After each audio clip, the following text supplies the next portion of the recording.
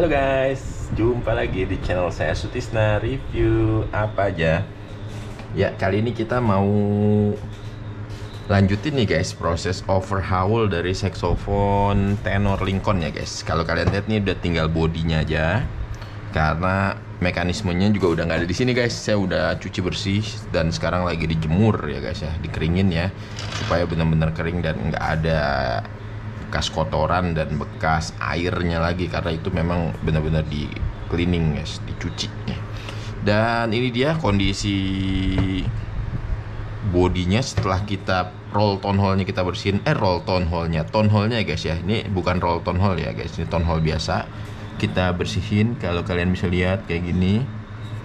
Ya ini udah tadinya warnanya udah hitam-hitam dan ada yang karat-karat serta kotoran ini kenapa kita ups HP saya jatuh. Kenapa ini kita bersihin eh tonholnya kita bersihin dulu terus kita ratain? Karena setelah ini mau kita cuci guys ya. Kalau kalian li bisa lihat nih ini mungkin agak deket. Nah ini, ini kayak debrisnya dia.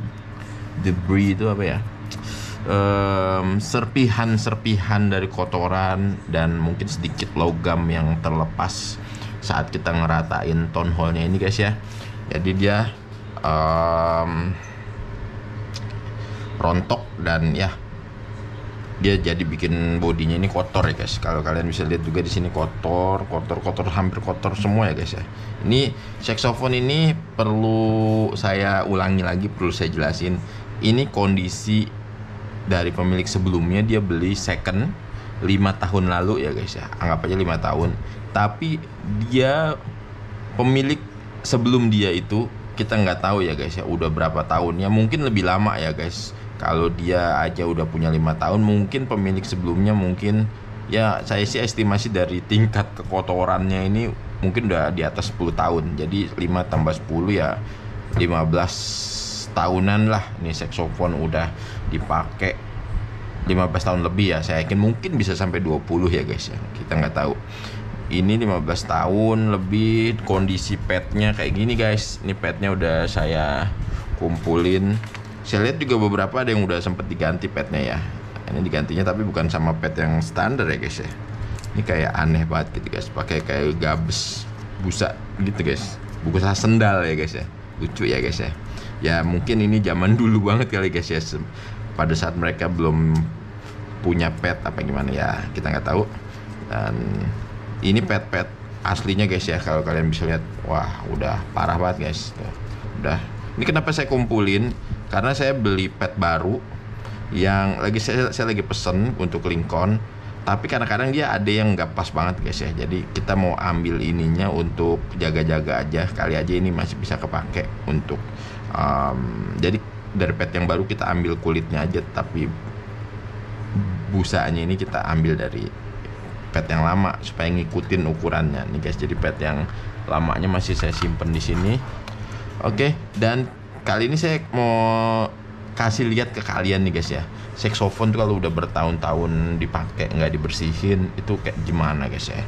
Ini supaya kalian bisa kayak lebih menghargai saxophone kalian terutama dalam hal kalian ngebersihin ya guys ya. Ngebersihin ya. Jangan cuma pakai doang maksudnya istilah gitu ya secara kasarnya. Tentu aja seksofonnya kan seksofon kalian ya terserah kalian mau kalian apain juga ya bebas ya guys. Cuman um, alangkah lebih baiknya kalau kita tahu um, bahwa kotornya seksofon tuh kayak apa uh, di posisi 5 tahun 15 tahun tuh kayak gimana Oke sebelumnya nih saya di video sebelumnya saya bikin video tentang cara ngilangin penyok mana ya bekas penyoknya. Nah ini guys, ini masih ada kayak titik hitam.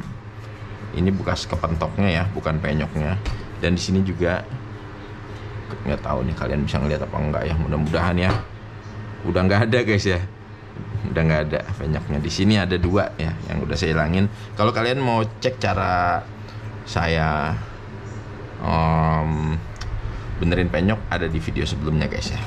Sekarang saya mau kasih lihat nih guys apa yang kotoran apa sih yang ada di saxophone umur 5 tahun 10 tahun kayak gitu supaya kalian bisa ikut sama-sama kita jaga kebersihan yuk. Dan um, dengan maksudnya jaga kebersihan itu juga sama aja dengan jaga kesehatan kita juga ya guys. Jaga kesehatan kita dan orang-orang di sekeliling kita saat kita niup saxophone nih guys ini yang mau saya keluarin dari dalam bore body saxophone ya guys ya. Mudah-mudahan kalian bisa lihat.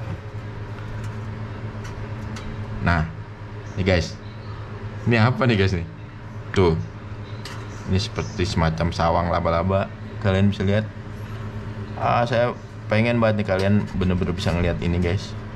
Karena kalau di mata telanjang nih kelihatan nih guys. Saya, saya pakai obeng ya karena saya nggak mau megang ya. Nah tuh guys. Tuh. Eh tapi nggak apa-apa lah saya pegang biar kalian bisa kelihatan. Nih di tombol cheese nya ada juga nih guys.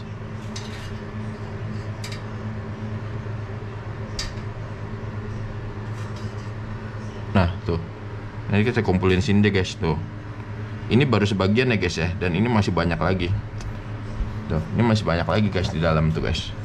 Yang saya yakin kalian mungkin nggak bisa ngelihat karena ini terbatasan angle kamera ya guys ya. Tapi paling nggak kayak gini guys.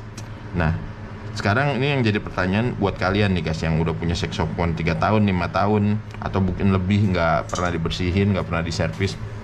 Kalian mau nggak bernafas keluar masuk udaranya terus ngelewatin dan ngelewatin ini guys. Karena ini kan nggak one way ya. Kadang-kadang kita sambil niup kita sambil ngisep ya buat udara. Kadang-kadang kita niup. Tapi kadang-kadang kita ngisep juga ya.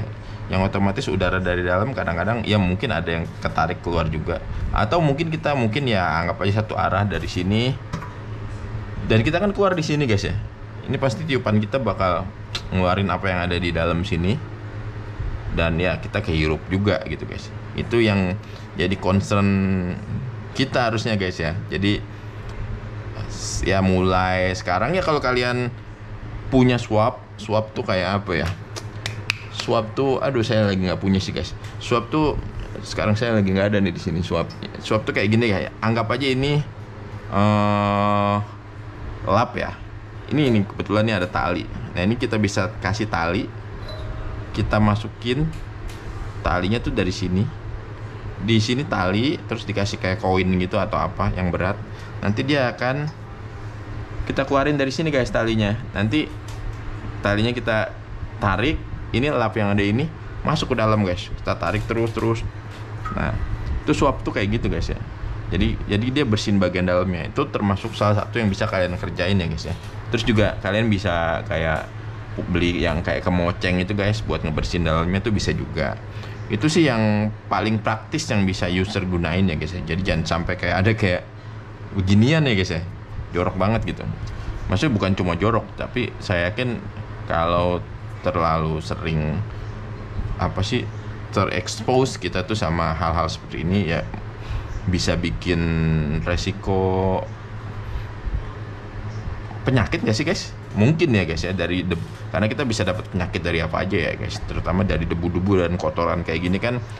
Walaupun itu bekas nafas kita sendiri kan pasti ada ya mungkin ada bakterinya atau ada apanya yang ya kalau kita harapan kita sih kalau dibersihin secara rutin ya ya mudah-mudahan resiko gangguan kesehatannya bisa berkurang ya dari dari situasi kondisi itu guys ya ketimbang daripada nggak dibersihin sama sekali.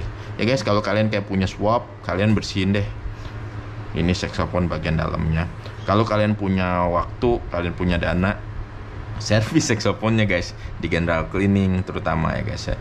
Saran saya sih lima tahunan tuh udah sangat perlu di general cleaning. Biasanya tiga tahun lima tahun tuh udah mulai perlu tuh guys saxophone karena tiga tahun tuh waktu yang cukup lama untuk uh, kotoran yang dari mulut kita yang dari luar dari tangan itu menumpuk di dalam saxophone gitu guys jadi ayo kita sambil belajar main saxophone sambil kita juga pahami uh, uh, lingkungan yang kita bentuk di dalam saxophone ini sehingga kita bisa sama-sama bermain saxophone dengan sehat. Guys, itu aja tips dari saya. Ini saxophone tenornya mau kita ganti pad nih ya kalau kalian yang penasaran dan pengen tahu cara saya ganti pad. Mungkin di video selanjutnya ya saya mau kasih lihat caranya mungkin sedikit demi sedikit karena ganti pet itu kan agak lama nggak mungkin di satu video saya bikin semua tapi paling nggak kalian bisa dapat gambaran gimana ganti pet sih gimana sih caranya ya ya guys di video selanjutnya jangan lupa klik like dan subscribe kalau kalian merasa video ini bermanfaat silahkan share ke teman-teman kalian di platform social media yang kalian punya. Thank you bye bye bye bye bye bye bye